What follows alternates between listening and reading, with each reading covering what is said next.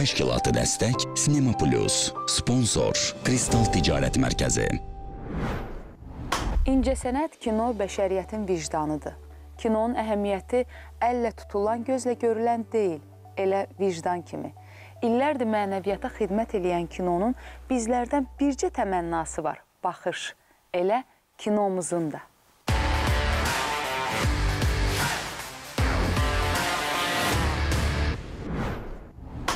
Dünya kinosunda həmişə xüsusi yeri olan minimalist filmlər kinomuzdan da yan keçməyib. Kinofakt rubrikamızda həyatın özü kimi sadə, həyəcanlı bir filmə nəzər salacağıq. O gün kimin üçünsə adi bir gün idi, kimin üçünsə ad günü. Film Fakt rubrikasında Azərbaycan kinosunun ən qiymətli nümunələrindən olan Ad günü filmi haqqında nadir faktları təqdim edirik.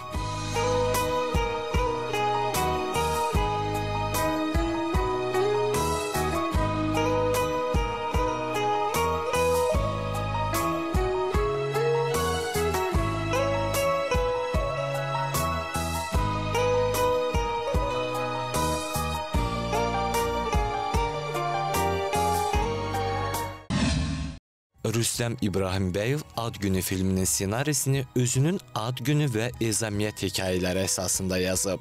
Filmdə Mustafanın hekayəti Ezamiyyət hekayəsinə, Əlininki isə Ad günü hekayəsinə aiddir.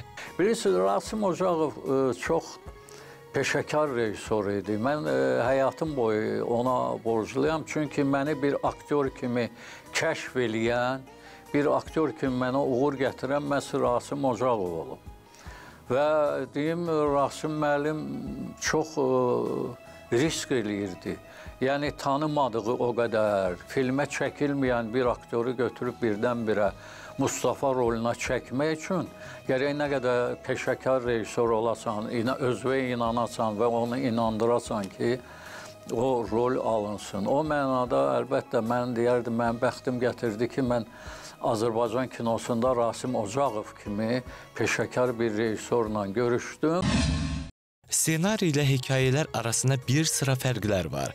Belə ki, ssenaridə Mustafa konferansda iştirak etmək üçün Şəkidən Bakıya gəlir.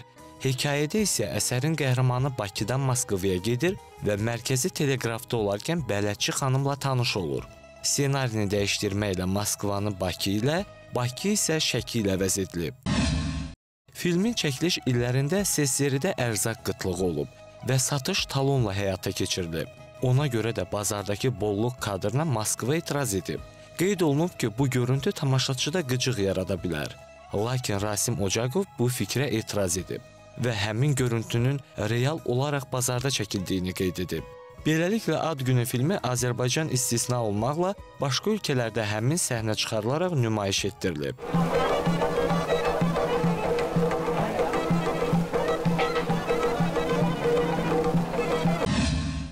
Filmdəki evlərin hər ikisi dekorasiyadır. Baş qəhrəman Əlinin və poçt işçisi Fəridənin evi kinostudiyada qurulmuş evlərdir. Sadəcə ustalıqla tikilib deyə tamaşaçıda real ev təəssüratı yaradıb. Ad günü filmində Əli obrazını Gürcüstanın Rustavi Dövlət Dram Teatrının aktyoru David Urlisaşvili yaradıb. Baş qəhrəman Əlinin bazarlıqdan qayıdarkən pilləkənlərlə evə qalxdığı səhnə real interyerdə çəkilib.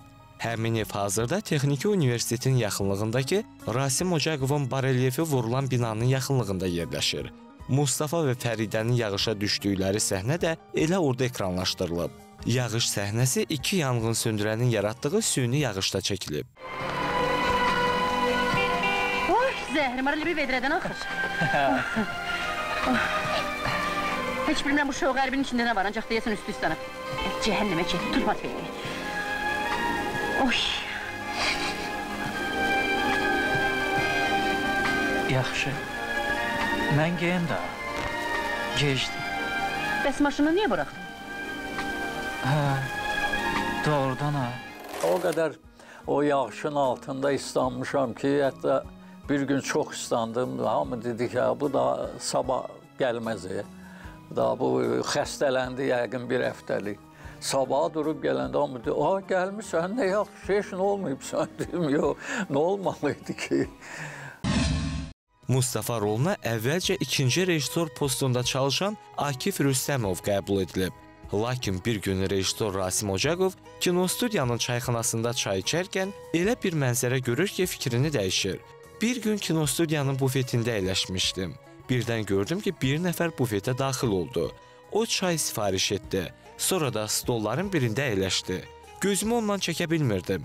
Çünki 100% qəhrəmanımıza, Mustafaya çox bənzəyirdi. Həmin şəxs Hacı İsmailov idi. Bir balaca bufet vardı.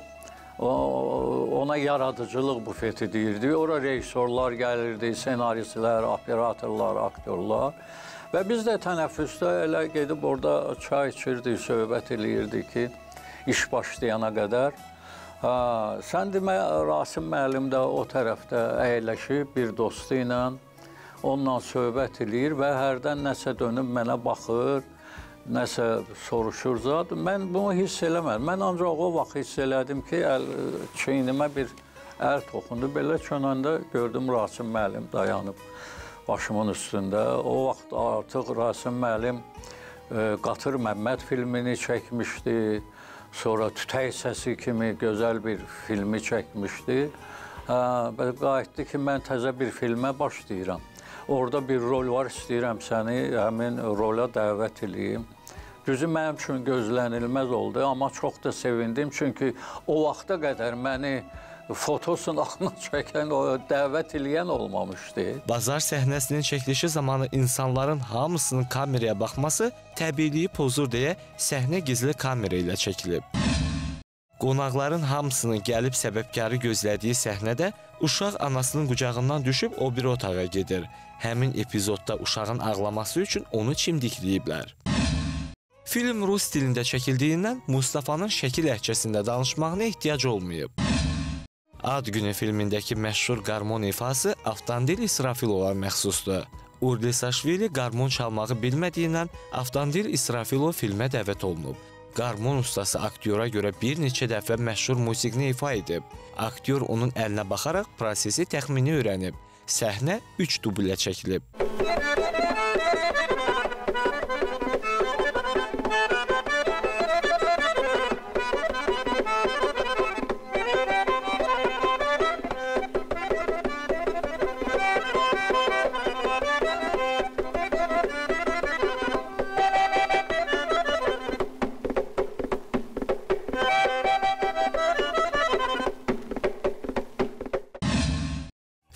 Qəhrəmanı Mustafa həddindən artıq saf, təmiz ürəkli, hamıya, hətta uşağa da inanan bir şəxs olduğundan tamaşaçılar, xüsusilə şəkillilər nə üçün Mustafanı belə yazıq, fağır, yük daşıyan kimi vermisən? Məyər şəkillər belədir? deyə Rasim Ocaqova öz etirazlarını bildiriblər. Yox, mən Mustafanı aciz, avam e, görməmişəm, heç o cür də təsəvvür eləməmişəm. E, Mustafa bir qədər sadəlöfdür, bir qədər. Amma təmiz adamdır, saf adamdır. Onun əməlləri də safdır, gördüyü işlər də safdır. Yəni o vaxt olub narazılıq zad olub belənçi ki, ay bizlər bizim belə filan zad. Amma filmə söz dərindən baxmaq lazım, dərindən izləmək lazımdır. Mustafanın görürsüz onun mərdliyi də var. Onun müəyyən vaxtlarda bir kişiləşməyi də var. Yəni mən onu belə avam, yazıq, o, o yox, o cür təsəvvür. Sadəcə bu saf, təmiz qəlbli bir müəllimdir. Və bu ailəsində də belədir, məktəbdə də belədir, cəmiyyət arasında da belədir. Yəni bu bir roldur da və nə yaxşı ki, sonralar Rasim Ocaqov həm ziyarət, həm ticarət filmində o Mustafanın davamını çəkdi və orada bir ad günündə olmayan cəhətlər burada daha çox biruzə çıxdı. Filmə 1978-ci ildə Azərbaycan Dövlət mükafatı, 1979-cu ildə Bakıda 8-ci Ümumİttifaq Televiziya Filmləri Festivalında birinci mükafat, 1980-ci ildə Berlində Almaniya Demokratik Respublikasının televiziyasının diplomu verilib. O filmin çox görüşləri oldu. İstər e, Azərbaycanın müxtəlif bölgələrində, rayonlarında, e, nə bilim, e, Biz çəkiləndə şəxsən mən çəkiləndə mən ümid eləmirdim ki, belə bir e, uğur ola bilər. O uğurun bir cəhəti də ondadır ki, orada yaxşı aktyorlar iştirak edir. Orada təsəvvür edin ki, mənim tərəf müqabilim Azərbaycan teatrının, kinosunun ən görkəmli aktrisalarından biri Şəfiqə xanım Məmmədovadır.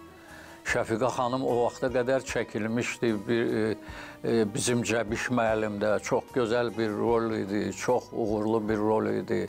Başqa filmlərdə, teatrda çox uğurlu rolları vardı. Hətta mən əvvəl-əvvəl çəkiləndə biraz çəkinirdim. Şəfiqə xanımdan ki, birdən nəsə xoşuna gəlməz deyərək bu aktyor bacarmadı zad. Amma Rasim müəllim elə şərait yaratdı ki, heç onlara ehtiyac qalmadı. Bəziləri deyir ki, güya coğrafiya bir elm kimi daha inkişaf edir. Doğrudan da yerdə daha bir dənə də ada, bir dənə çay, bir dənə okean qalmayıb ki, məlum olmasın. Hamısını öyrənib xəritəyə köçürürdülər. Bu ilk baxışda belədir. Əslində, ələlxüsus son vaxtlar coğrafiya elmində yeni-yeni şeylər meydana çıxıb. Çoxlarının xəbəri yoxdur bunlardan. Misal üçün, misal üçün təbabət coğrafiyası. Təsəvvür edirsiniz? Təbabət və coğrafiya. Yağış başlayır deyəsən.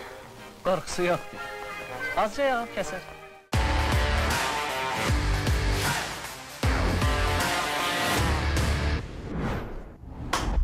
Əsərdə balta izləri görünürsə, deməli yaxşı yontalanmayıb. Bunu ustad sənətkarlar belə deyir.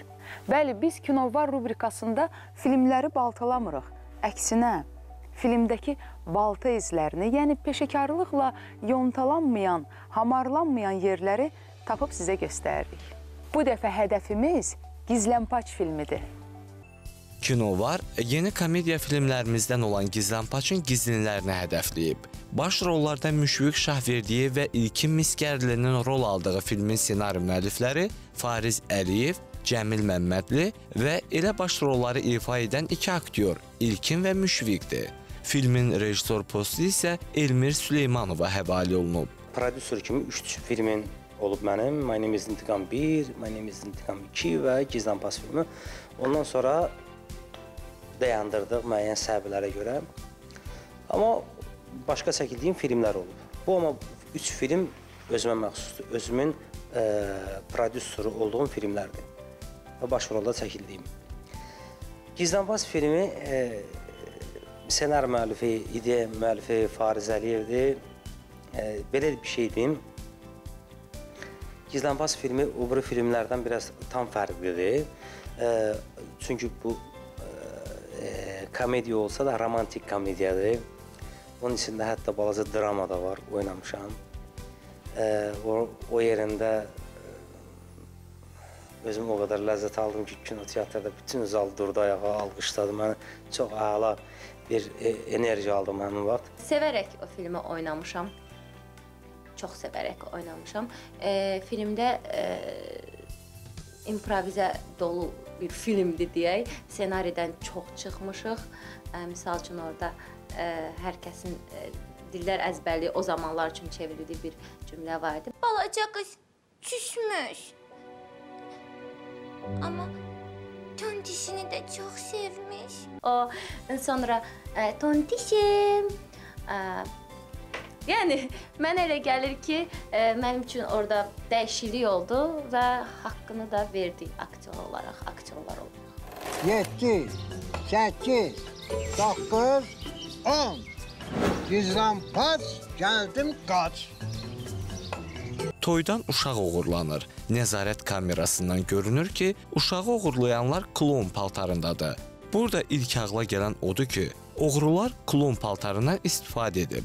Yəni toyun klonlarının bu oğurluqla əlaqəsi yoxdur. Ancaq nədənsə toy sahibləri toydakı klonların arxasınca düşür. Halbuki uşağı oğurlayan klonlar artıq onu maşına qoyub qaçırlar. Saxla, saxla, saxla. Ay, şərəfsizlər. Uşağı klonlar oğurlayıb.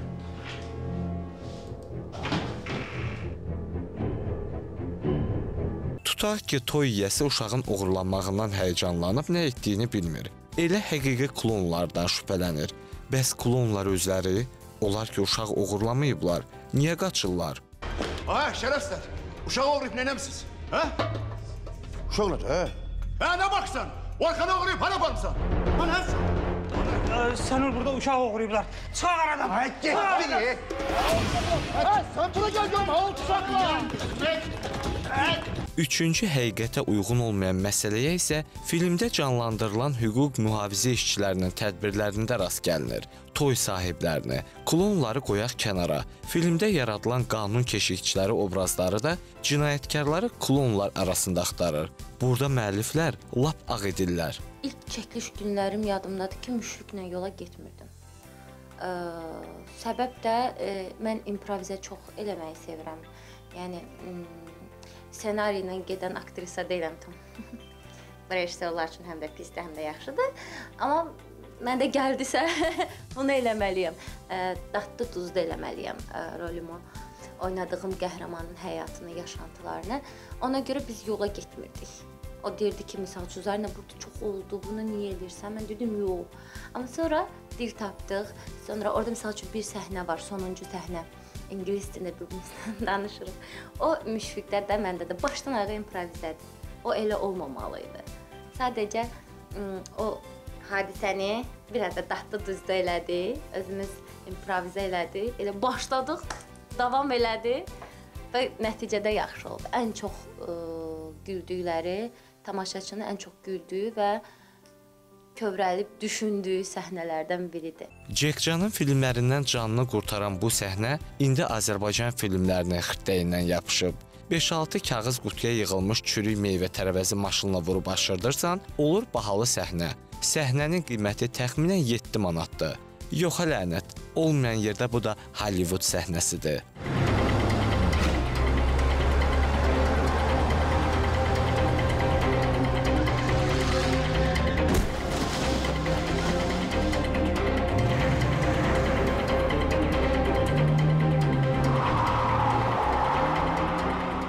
Gizlanpaç da digər komediya filmlərimizdəki əsas problemdən xali deyil. Burada da müəlliflər komik olduğunu düşünərək yenə ən yuxarı pilləyə söyüşə eyham vuran zarafatları qoyublar. Yəni dırnaqarası zarafatları. Mamet. Ben senin doğanın. Ne? Ben senin doğanı yedim. Nasıl olsun? Öğrenebilmezdin sen bu dili. Ver, ver. Filmdə peşəkar kino fəndləri də yox deyil. Məsələn, klonların başqa məqsədlə gizlincə girdikləri evdə uşaqla üz-üzə qalması əla qarşılaşmadır. Nitraz Sümeyye'lik eleme darıkma. Muhtarsız. Yüzü,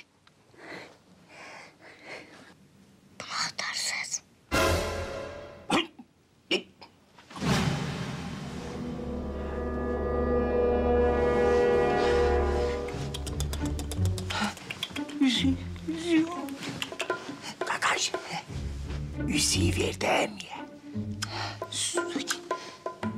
Sonda bəlli olur ki, filmin əvvəlində klonların oğurladığı uşaq filmimizin qəhrəmanlarının təsadüfən gəldikləri həmin evdəki uşaqdır.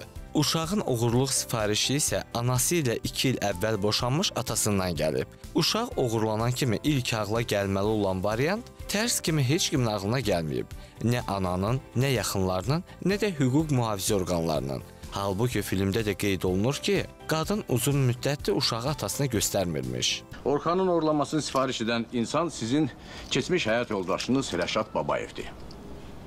Bəli, bizdə olan məlumata görə siz artıq 2 ildir ayrılmısınız və bu 2 il ərzində bir dəfə də olsun uşağı atasına göstərməmisiniz. Onu da deyim ki, Sevdə xanım, siz özünüz də bir balaca qanunu pozmusunuz. Hər şey bu qədər aydın ikən, niyə heç kəs uşağın atasından şübhələnməyib? Nə isə, sonda uşaq polisə təhvil verilir. Uşağın atası məsuliyyətə cəlb olunur. Qəhrəmanımız Fəridin üzüyü qaytarılır. Onlar evlənir və necə deyərlər, gedirlər mikrorayon tikməyə. Bir ara fikrimiz var idi ki, onun növbəti hissəsini çəkməyə.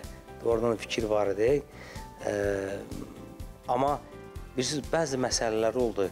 Ə, bu film Azərbaycanın kommersiya filmləri elə bil ki, ə, birdən-birə qabağına bir daş qoydular. Baxın, devalvasiyadan sonra pandemiya düşdü. Pandemiyanın uzanması, kinoteatrların bağlanması elə bil ki, kommersiya filmlərinin ürəyindən vurdular. İndi təzədən qalxmaq lazımdır ayağa. Təzədən tamaşaçını kinoteatra gətirmək lazımdır. Təşkilatı dəstək Sinema Plus. Sponsor Kristal Ticarət Mərkəzi. Təşkilatı dəstək Sinema Plus. Sponsor Kristal Ticarət Mərkəzi.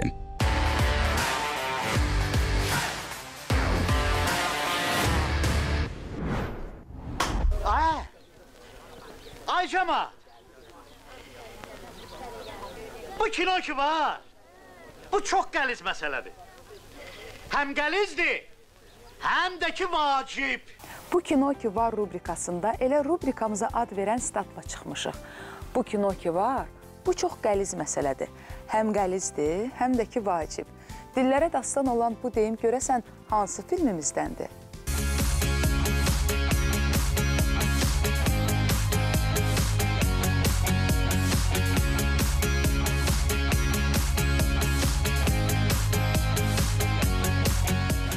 Bəyin uğurlaması. Bəyin uğurlamasıdır. Bilmirəm hansıdır. Bilmirəm, mən Azərbaycan filmlərinə baxmıram. Bizimkilər belədir də. Öz kinomuza bir dəfə baxmırıq, amma onun kinosuna 43 dəfə bax.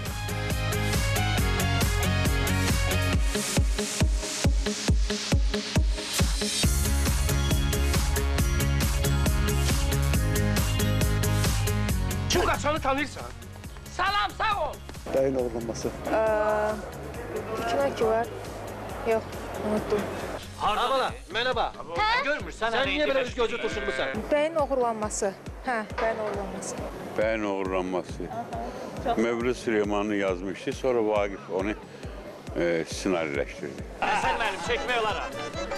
Yox, çəkmək olmaz.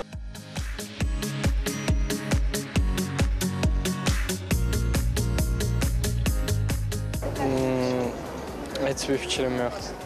Amma şey bir xalatın sirri ola bilərmi? İşləşəm istəmirəm, sağ olun.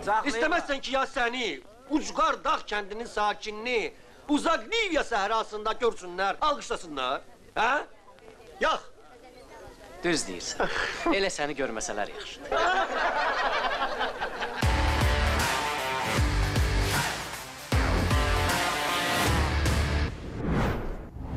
Kino həyatın montaj olunmuş, biraz da rənglənmiş haldır.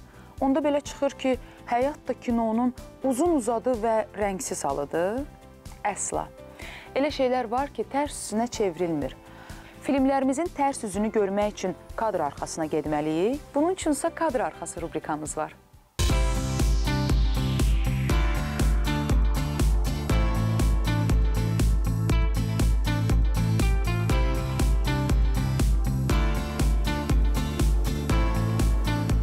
Qaratikan romantik komediyasının ssenari müəllifləri Fariz Əliyev, Araz Atakişiyev və Faiq Ağamalıdır. Quruluşçu rejissoru isə Ramin Hacıyevdir.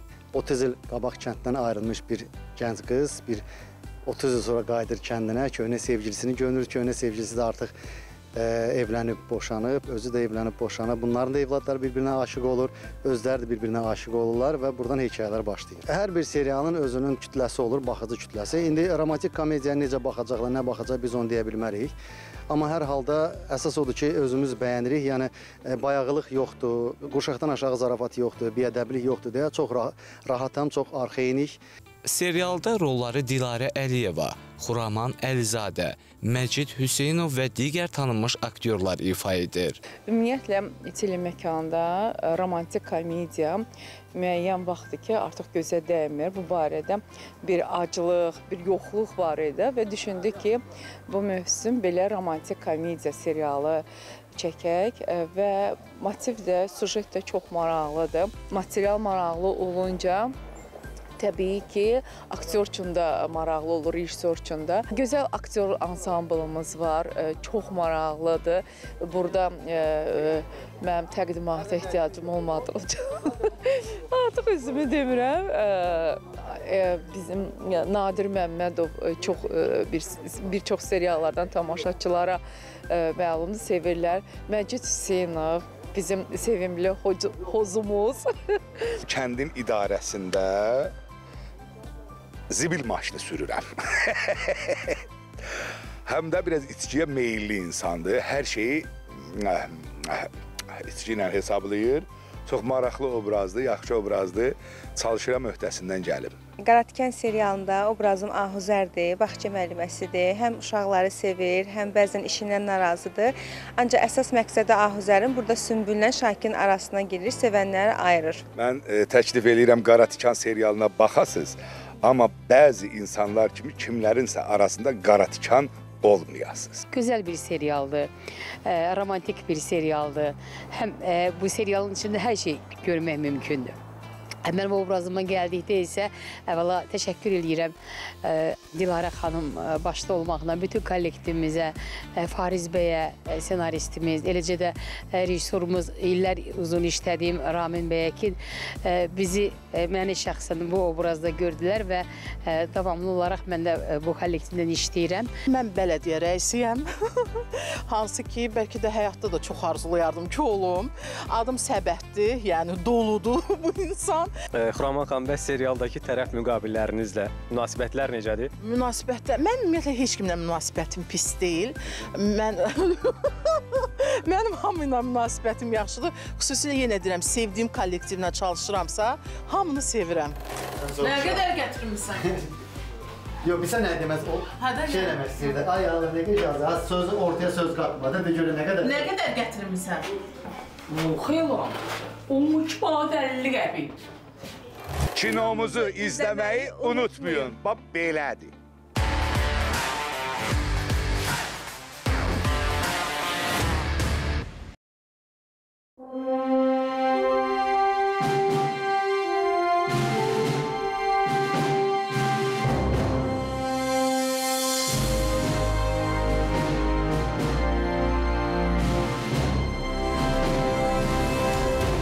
Nizami Kino Mərkəzində 13-cü Bakı Beynəlxalq Qısa Filmlər Festivalının bağlanış mükafatlandırma mərasimi keçirilib.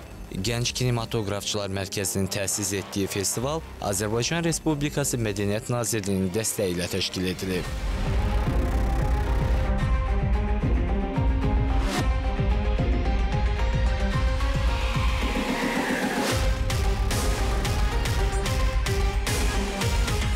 On üçüncü Bakı Beynəlxalq Qısa Filmlər Festivalına 79 ölkədən 814 film qatılıb. Festival özü Azərbaycan kinosunda gənc müəlliflərin və yaxud da ki, əlavə eləyim ki, e, yeni kino dili axtarışında olan müəlliflərin, onunla yeni fikri olan müəlliflərin tapılmasında önəmli rol oynayır. Və e, bu layihə qeyri-kommersiya, yəni kommersiya filmlərindən kənar filmlərin layihəsidir, yəni müsabiqəsidir. Burada müəllif filmləri daha çoxdur və e, bildirmək istəyirəm ki, festivalın əsas dediyim kimi mahiyyəti həmin yeni istedadları kəşf eləməkdir. Bu il artıq tamaşaçı sayı bizdə yetərincə artıbdır.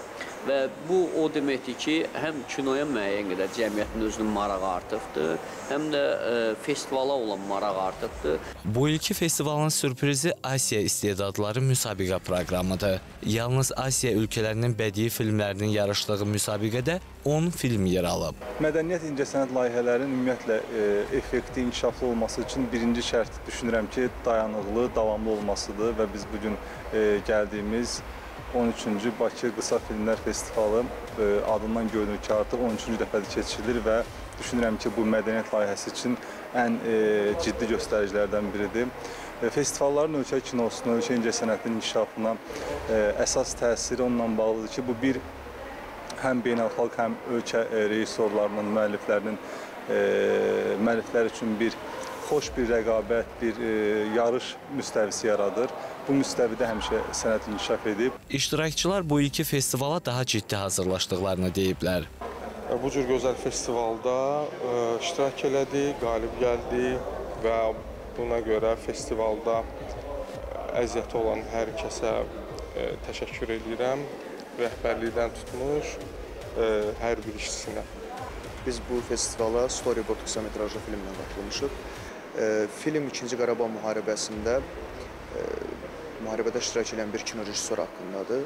O səngərdə bir an mürgüləyir və e, yuxusunda, arzusunda olduğu tamaşanı, yox filmi e, quruduğunu görür. Azərbaycanda festivalın olmasının özü e, çox önəmlidir. Nəticəsinə baxmayaraq, yəni nəticəsinin nə olmağına baxmayaraq çox önəmlidir. Təbii ki, bir e, gənc rejissor olaraq mən də bu festivala yəni maraqlandım. Yəni e, gənclərin inkişafı üçün e, bu festivalın, bu tip festivalların olmağı təbii ki, bizə də maraqlıdır.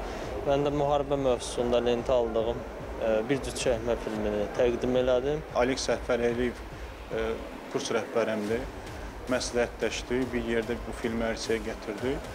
E, xeyli müddət hazırlıq prosesi getdi və istədiyimizə çəkiliş məqamında da prosesində də istədiyimizi e, güman edirəm ki, əldə edə bildim. Festivalın bağlanış mərasimində qaliblər nominasiyalar üzrə Qızıl Nar mükafatı və xüsusi diplomlarla təltif olunublar. Sonda ən yaxşı bədii film nominasiyası üzrə Qızıl Nar mükafatı almış Qulu Əsgərovun Hasar filmi nümayiş olunub.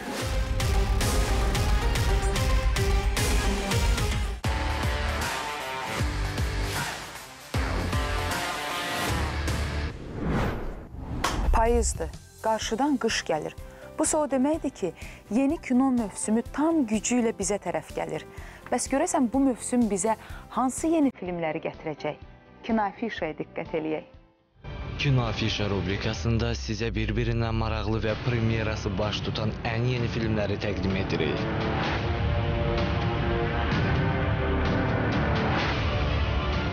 İlk təqdim edəcəyimiz film Amerika Birləşmiş Ştatları kinematografçıları tərəfindən ekranlaşdırılan O Dedi dramadır.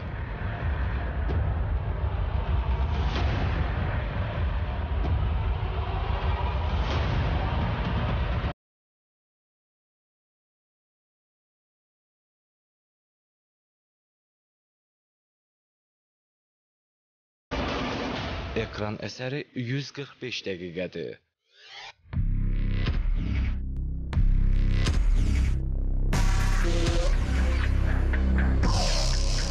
Qəribə bir qoca hər kəsdən uzaq tənha bir evdə yaşayır. Bir gün onun evinə meşədə azmış bir oğlan gəlir və dərhal ev sahibində şübhə doğurur. Qoca silahı içəri girən şəxsə tuşlayır və sorğu-sual etməyə başlayır.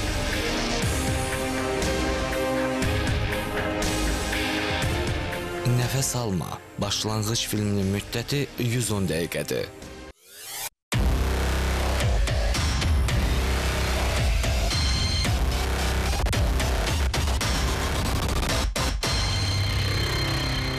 Jack dostlarını öz malikanəsinə toplayıb poker oyununa dəvət edir. Ancaq eksentrik milyarderin evi yad adamlar tərəfindən hücuma məruz qaldıqda oyunun riskləri dərhal artır. İndi onların həyatı təhlükədədir. Söhbət Poker Face trillerindən gedir.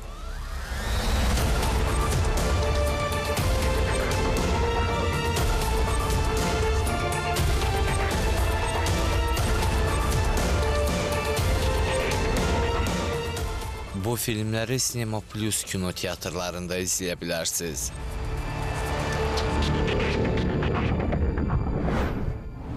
Michelangelo deyir ki, heykəl daşın içində var idi. Mən sadəcə artıq yerləri yonub atdım. Bəzi rejissorlar üçün də film həyatın içində var. Onlar sadəcə artıq hissələri kəsib bizə göstərirlər. Biz isə həmin hissələrə istədiyimiz vaxt pauza verir, istədiyimiz vaxt təkrar baxırıq. Hər kəsin həyatında sonu xoşbəxtliklə bitən minlərlə film var. Onları sadəcə kəsib üzə çıxaran lazım. Hələlik.